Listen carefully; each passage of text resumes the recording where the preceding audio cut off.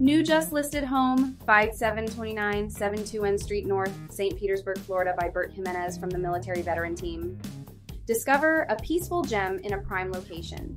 A meticulously maintained CBS single family home built in 1982, featuring two spacious bedrooms, two spa like bathrooms, and a bonus room perfect as a third bedroom or office. This home offers a light and bright living space and an updated kitchen with quartz countertops and wood cabinets. Situated on a 0.15 acre lot with beautiful oak trees, this home offers a fenced backyard with a pavered patio and a spacious garage. Close to beaches, shopping, and airports, with no HOA fees for ultimate freedom.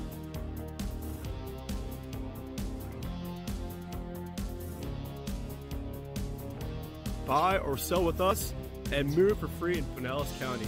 Google Military Veteran Realty Team and see why we're number one on Google.